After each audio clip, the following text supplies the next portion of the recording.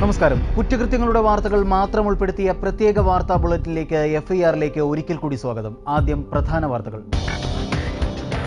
ആലപ്പുഴയിൽ രണ്ട് യുവാക്കളുടെ ജീവനെടുത്ത ബൈക്ക് അപകടത്തിൽ ദുരൂഹത അപകടം ആസൂത്രിതമായ കൊലപാതകമായിരുന്നുവെന്ന് ആരോപണം. ബന്ധുക്കൾ മുഖ്യമന്ത്രിക്കും പ്രതിപക്ഷ നേതാവിനും ഡി ജി പിക്കും പരാതി നൽകി. പത്തനംതിട്ട ജനറൽ ആശുപത്രിയിൽ ഡോക്ടർമാർക്ക് രോഗികളെ നോക്കാൻ നേരമില്ല. ഡ്യൂട്ടി സമയത്ത് ആശുപത്രിയിൽ കള്ളുകുടി. ജില്ലാ മെഡിക്കൽ ഓഫീസർ അന്വേഷണം തുടങ്ങി. കവിയൂരിലെ അനഘയെ പീഡിപ്പിച്ചത് അച്ഛനെന്ന് സി ബി ഐ. മരിക്കുന്നതിന് മുമ്പുള്ള മൂന്ന് ദിവസങ്ങൾക്കിടെയും പീഡനം. കിളിരൂർ കേസിൽ പോലീസ് കണ്ടെത്തിയതിനപ്പുറം ഒന്നും കണ്ടെത്തിയിട്ടില്ലെന്നും സി ബി ഐ. കോടതിയിൽ ഹാജരാകാനെത്തിയ കൊലക്കേസ് പ്രതിയുടെ കൈ വെട്ടിമാറ്റി. സംഭവം മലപ്പുറം മഞ്ചേരിക്കടുത്ത് കാരക്കുന്നിൽ. ആക്രമണത്തിന് പിന്നിൽ വ്യക്തിവൈരാഗ്യമെന്ന സൂചന. റിലയൻസ് എം ഡി മുകേഷ് അംബാനിക്കെതിരെ തൃശൂർ ഉപഭോക്തൃ കോടതിയുടെ arrest warrant. Warrant mobile phone company പരസ്യത്തിൽ പറഞ്ഞ കാര്യങ്ങൾ പാലിച്ചില്ലെന്ന കേസിൽ. നമസ്കാരം. വാർത്തകളുടെ വിശദാംശങ്ങളിലേക്ക്. കവിയൂരിൽ ആത്മഹത്യ ചെയ്ത അനഘയെ അച്ഛൻ നാരായണൻ നമ്പൂതിരി പീഡിപ്പിച്ചിരുന്നതായി സി തിരുവനന്തപുരത്തെ സി കോടതിയിൽ സമർപ്പിച്ച പുനരന്വേഷണ റിപ്പോർട്ടിലാണ് വെളിപ്പെടുത്തൽ. കിളിരൂർ കേസിൽ പുനരന്വേഷണം ആവശ്യപ്പെട്ടിട്ടുള്ള ഹർജിയിൽ വിധി പറയുന്നത് കോടതി ഈ മാസം ഇരുപത്തിരണ്ടിലേക്ക് മാറ്റി. എഫ്ഐആർ ടോപ്പ് സ്റ്റോറി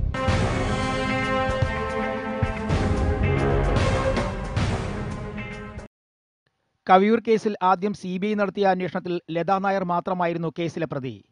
അനഖയുടെ ശരീരത്തിൽ നിന്നും പുരുഷബീജം കണ്ടെത്തിയതിനെ തുടർന്നാണ് ടി പി നന്ദകുമാർ പുനരന്വേഷണം ആവശ്യപ്പെട്ട് കോടതിയെ സമീപിച്ചത്. സാഹചര്യ തെളിവുകൾ അനുസരിച്ചാണ് അനഖയെ പീഡിപ്പിച്ചത് അനഖയുടെ പിതാവാണെന്ന് സി ബി ഐ കണ്ടെത്തിയിരിക്കുന്നത്. അനഖയുടെ അച്ഛൻ നാരായണൻ നമ്പൂതിരി അസ്വാഭാവികമായി പെരുമാറിയിരുന്നുവെന്ന് പല പ്രാവശ്യവും കൂട്ടുകാരോട് അനഖ പരാതി പറഞ്ഞതായും സി റിപ്പോർട്ടിൽ പറയുന്നുണ്ട്. അനഘ മരിക്കുന്നതിന് രണ്ടോ മൂന്നോ ദിവസം മുമ്പാണ് പീഡനം നടന്നതെന്നും റിപ്പോർട്ടിൽ പരാമർശമുണ്ട്. എന്നാൽ സംഭവത്തിന് പിന്നിൽ വി ഐ പി ബന്ധമില്ലെന്നാണ് സി ബി ഐയുടെ കണ്ടെത്തൽ. അനഘയുടെയും കുടുംബത്തിന്റെയും ആത്മഹത്യയ്ക്ക് കാരണം പീഡനമല്ല എന്നും ലതാ നായർ ഉണ്ടാക്കി വെച്ച അധിക സാമ്പത്തിക ബാധ്യതയാണെന്നും റിപ്പോർട്ടിൽ വ്യക്തമാക്കുന്നുണ്ട്.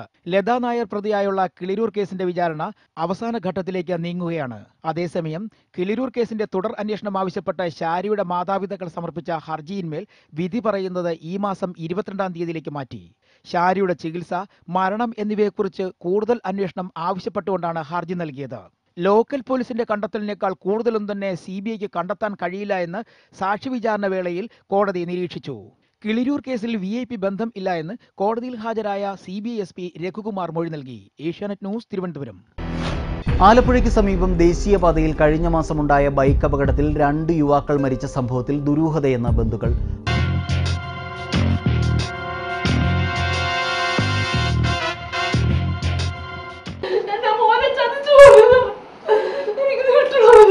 നവംബർ ഇരുപത്തിരണ്ടിന് പുലർച്ചെ രണ്ടു മണിക്കായിരുന്നു അപകടം.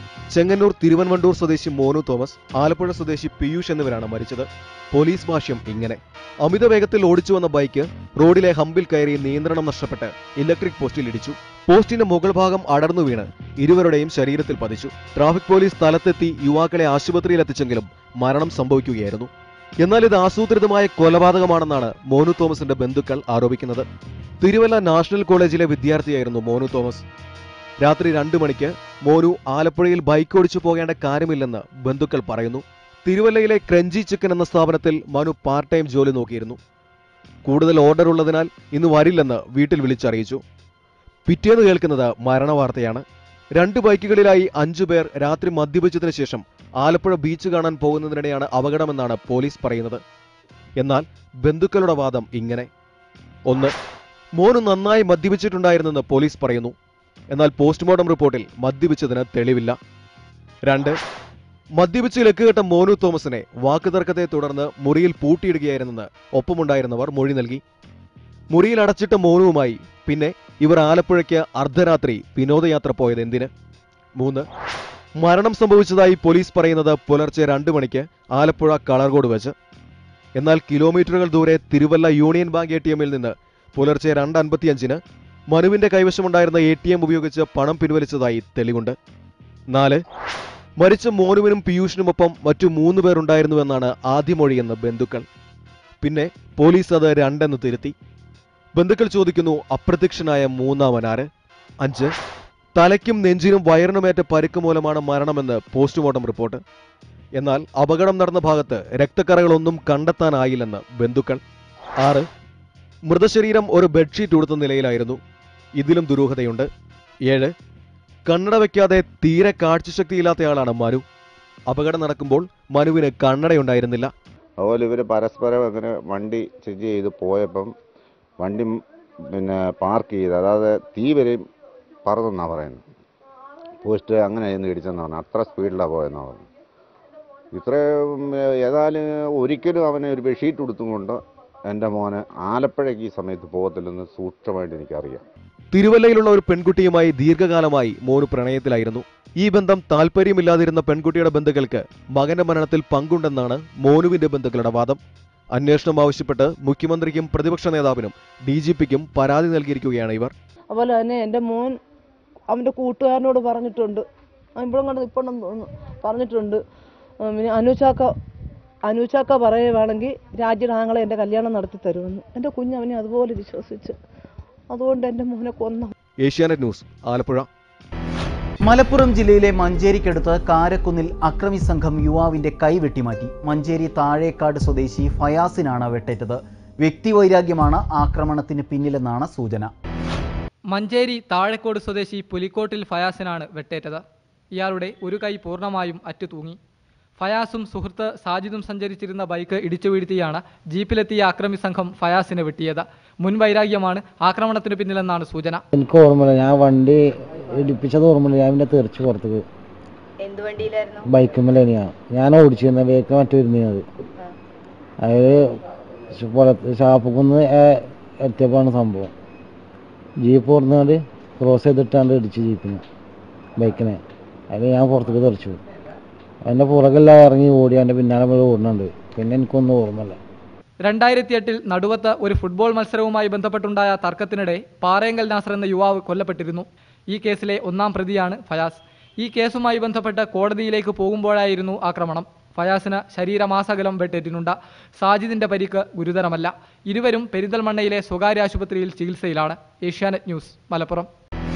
ഡ്യൂട്ടി സമയത്ത് രോഗികളെ പരിചരിക്കാതെ മദ്യസേവയിൽ മുഴുകിയ ഡോക്ടർമാരെക്കുറിച്ച് ജില്ലാ മെഡിക്കൽ ഓഫീസർ അന്വേഷണം തുടങ്ങി. പത്തനംതിട്ട ജനറൽ ആശുപത്രിയിലെ രണ്ട് ഡോക്ടർമാർക്കെതിരെയാണ് അന്വേഷണം. കഴിഞ്ഞ ദിവസം വൈകുന്നേരമാണ് ജനറൽ ആശുപത്രിയിലെ രണ്ട് ഡോക്ടർമാർ രോഗികളെ പരിചരിക്കാതെ മദ്യസേവ നടത്തിയതായി പരാതി ഉയർന്നത്. രോഗികൾ അറിയിച്ചതനുസരിച്ച് ദൃശ്യമാധ്യമ പ്രവർത്തകർ സ്ഥലത്തെത്തിയെങ്കിലും സെക്യൂരിറ്റി ജീവനക്കാർ കടത്തിവിട്ടില്ല. ചികിത്സാ മുറി പൂട്ടി മദ്യസേവ നടത്തിയ ഡോക്ടർമാർ ക്യാമറ കണ്ടതോടെ മതിലു ചാടിയോടി. ഇരുട്ടായതിനാൽ ആ ദൃശ്യങ്ങൾ പകർത്താനുമായില്ല. അതിനിടെ സംഭവത്തെക്കുറിച്ച് ജില്ലാ മെഡിക്കൽ ഓഫീസറും ആശുപത്രി സൂപ്രണ്ടും അന്വേഷണം തുടങ്ങി. ഡ്യൂട്ടിയിലുണ്ടായിരുന്ന ജീവനക്കാരോട് ഡി എംഒ കാര്യങ്ങൾ അന്വേഷിച്ചു. ആരോപണ വിധേയനായ മയക് ഡോക്ടർ അടക്കമുള്ളവരോട് വിശദീകരണം ചോദിച്ചിട്ടുണ്ട്. മദ്യപിച്ചിരുന്നില്ലെന്നാണ് ഡോക്ടർമാർ നൽകിയ വിശദീകരണം. ഉച്ചയ്ക്ക് അരമണിക്കൂറോളം അത്യാഹിത വിഭാഗത്തിൽ ഡോക്ടർ ഇല്ലായിരുന്നതായി ഡി എംഒയുടെ അന്വേഷണത്തിൽ തെളിഞ്ഞിട്ടുണ്ട്. ആരോപണ വിധേയനായ മയക്ക് ഡോക്ടറും കരാറ് ഡോക്ടറും ഡ്യൂട്ടി സമയത്ത് മദ്യപിക്കുക പതിവാണെന്ന് രോഗികൾ പറയുന്നു. ഡ്യൂട്ടി സമയത്ത് മണിക്കൂറുകളോളം ചായ കുടിക്കാൻ പോകുന്ന ചില ജീവനക്കാരെ പറ്റിയും ഡി എംഒയ്ക്ക് വിവരം ലഭിച്ചിട്ടുണ്ട്. ഏഷ്യാനെറ്റ് ന്യൂസ് പത്തനംതിട്ട. കോട്ടയം മണിമല ഗോപകുമാർ വധക്കേസിൽ സഹോദരൻ ഉണ്ണികൃഷ്ണന് ജീവപര്യന്തവും ഒരു ലക്ഷം രൂപ പിഴയും. ഒന്നാം പ്രതി റാന്നി പഴവങ്ങാടി മോതിരവയൽ സ്വദേശി ബിനുരാജിന് അഞ്ചു വർഷം കഠിന തടവും ഇരുപത്തി അയ്യായിരം രൂപ പിഴയും വിധിച്ചു. കോട്ടയം പ്രിൻസിപ്പൽ ജില്ലാ ജഡ്ജി കെ പി പ്രസന്നകുമാരിയാണ് ശിക്ഷ വിധിച്ചത്. രണ്ടായിരത്തിയേഴ് നവംബർ മുപ്പതിനാണ് കേസിനാസ്പദമായ കൊലപാതകം നടന്നത്. മണിമല കടയനിക്കാട് വീട്ടിൽ ഗോപകുമാറിനെ തുണി കഴുത്തിൽ ചുറ്റി ശ്വാസം മുട്ടിച്ച് കൊലപ്പെടുത്തുകയും മൃതദേഹം പമ്പ വടശ്ശേരിക്കര റോഡിൽ ചെളിക്കുഴി ഭാഗത്ത് ഈറ്റക്കാട്ടിൽ കുഴിച്ചുമൂടുകയും ചെയ്തു. തെളിവ് നശിപ്പിക്കാനായി രണ്ടായിരത്തി ഒൻപത് മാർച്ച് പത്തൊൻപതിന് പ്രതികൾ ശരീരം പുറത്തെടുത്തു. മൃതദേഹം അഴുകാത്തതിനെ തുടർന്ന് പ്ലാസ്റ്റിക് ചാക്കും കയറും കത്തിച്ചു കളയുകയും പാതി അഴുകിയ ശരീരം പിന്നെയും കുഴിച്ചുമൂടുകയും ചെയ്തെന്നാണ് പ്രോസിക്യൂഷൻ കേസ്. ഒന്നും രണ്ടും പ്രതികളായ ബിനുരാജിനും ഉണ്ണികൃഷ്ണനും ഗോപകുമാറിനോടുള്ള പകയും വിദ്വേഷവുമാണ് കൊലപാതകത്തിൽ കലാശിച്ചത്. ഇന്ത്യൻ ശിക്ഷാ നിയമം ഇരുന്നൂറ്റിയൊന്ന് പ്രകാരം തെളിവ് നശിപ്പിച്ചതിന് ബിനുരാജും മുന്നൂറ്റി രണ്ട് വകുപ്പ് പ്രകാരം കൊലപാതകത്തിനും തെളിവ് നശിപ്പിച്ചതിനും രണ്ടാം പ്രതിയും ഗോപകുമാറിന്റെ സഹോദരനുമായ ഉണ്ണികൃഷ്ണനും കുറ്റക്കാരാണെന്ന് കോടതി കണ്ടെത്തി. ജീവപര്യന്തം കഠിന തടവും ഒരു ലക്ഷം രൂപ പിഴയുമാണ് ഉണ്ണികൃഷ്ണനുള്ള ശിക്ഷ. അഞ്ചു വർഷം കഠിന തടവിനും ഇരുപത്തയ്യായിരം രൂപ പിഴയ്ക്കും ബിനുരാജിനെയും കോടതി ശിക്ഷിച്ചു. ഗോപകുമാറിന്റെ ബന്ധുവും ഉണ്ണികൃഷ്ണന്റെ ധനകാര്യ സ്ഥാപനത്തിലെ ജീവനക്കാരനുമായിരുന്ന മൂന്നാം പ്രതി കോത്തലപ്പടി സ്വദേശി ബിജുവിനെ തെളിവുകളുടെ അഭാവത്തിൽ കോടതി വെറുതെ വിട്ടിരുന്നു.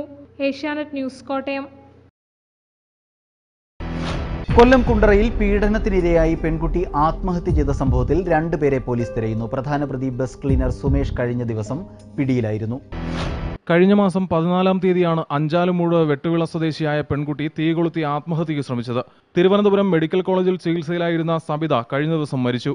സഹോദരനുമായുള്ള വഴക്ക് മൂലമാണ് ആത്മഹത്യയ്ക്ക് ശ്രമിച്ചതെന്നായിരുന്നു കുടുംബാംഗങ്ങൾ പോലീസിന് നേരത്തെ മൊഴി നൽകിയിരുന്നത്. എന്നാൽ ചികിത്സാ സമയത്ത് ഡോക്ടറോട് പെൺകുട്ടി പീഡനവിവരം പറഞ്ഞതോടെയാണ് സംഭവം പുറംലോകം അറിയുന്നത്. പെൺകുട്ടിയെ സമീപവാസിയായ ബസ് ക്ലീനർ സുമേഷ് പ്രേമം നടിച്ച് പല സ്ഥലങ്ങളിലും കൊണ്ടുപോയി പീഡിപ്പിക്കുകയായിരുന്നു. വൈദ്യപരിശോധനയിൽ പീഡനവിവരം സ്ഥിരീകരിക്കുകയും ചെയ്തു. നീരാവിൽ എസ് എൻ ഡി പി സ്കൂളിലെ പ്ലസ് വൺ വിദ്യാർത്ഥിനിയായിരുന്നു സബിത. സംഭവവുമായി ബന്ധപ്പെട്ട് സുമേഷിന് സഹായങ്ങൾ ചെയ്തു കൊടുത്ത രണ്ടുപേരെ പോലീസ് തെരയുകയാണ്. Asianet news Kollam.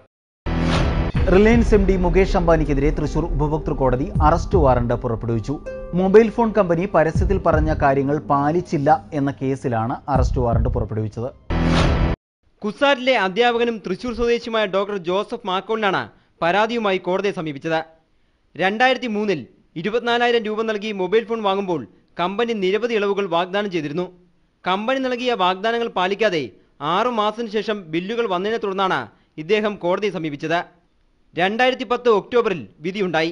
വിധി പ്രകാരം നമുക്ക് ട്വന്റി ഫോർ തൗസൻഡ് റുപ്പീസും അതിന് പന്ത്രണ്ട് ശതമാനം പലിശയും കോടതി ചെലവും തരേണ്ടതായിരുന്നു. വിധി നടപ്പാക്കണമെന്നാവശ്യപ്പെട്ട് പരാതിക്കാരൻ നൽകിയ ഹർജിയിൽ നോട്ടീസ് കൈപ്പറ്റിയിട്ടും എതിർകക്ഷികളായ മുകേഷ് അംബാനിയും റിലയൻസ് വേൾഡ് തൃശൂർ ബ്രാഞ്ച് മാനേജറും കോടതിയിൽ ഹാജരാകുകയോ നഷ്ടപരിഹാരം നൽകുകയോ ചെയ്തില്ല. തുടർന്നാണ് കോടതി അറസ്റ്റ് വാറണ്ട് പുറപ്പെടുവിച്ചത്. ഏഷ്യാനെറ്റ് ന്യൂസ് തൃശൂർ. കാസർഗോഡ് ബാങ്ക് മാനേജറുടെ വീട്ടിൽ നിന്ന് പട്ടാപ്പകൽ മുപ്പത് പവനും അമ്പതിനായിരം രൂപയും വെള്ളി ആഭരണങ്ങളും മോഷ്ടിച്ചു. നോർത്ത് മലബാർ ഗ്രാമീൺ ബാങ്ക് കുന്നത്തൂർ ശാഖ മാനേജർ പാറക്കട്ട കൃഷ്ണകൃപയിൽ വൈ കെ ഗോവിന്ദ ഭട്ടിന്റെ വീട്ടിലാണ് മോഷണം നടന്നത്. ആറ് ലക്ഷം രൂപയുടെ നഷ്ടം കണക്കാക്കുന്നതായി പോലീസ് പറഞ്ഞു. വീട്ടുകാർ പുറത്തു പോയപ്പോഴാണ് മോഷണം. വ്യാഴാഴ്ച രാവിലെ ഒൻപത് മുപ്പതിനും പന്ത്രണ്ട് മണിക്കുമിടയിലായിരുന്നു സംഭവം. അടുക്കളവശത്തുള്ള ജനൽ കമ്പി വളച്ചാണ് മോഷ്ടാക്കൾ അകത്തു കയറിയതെന്ന് പോലീസ് പറഞ്ഞു. എഫ് ഇ ആറിൽ ഇനിയൊരു ഇടവേള. വേഗം തിരിച്ചെത്താം.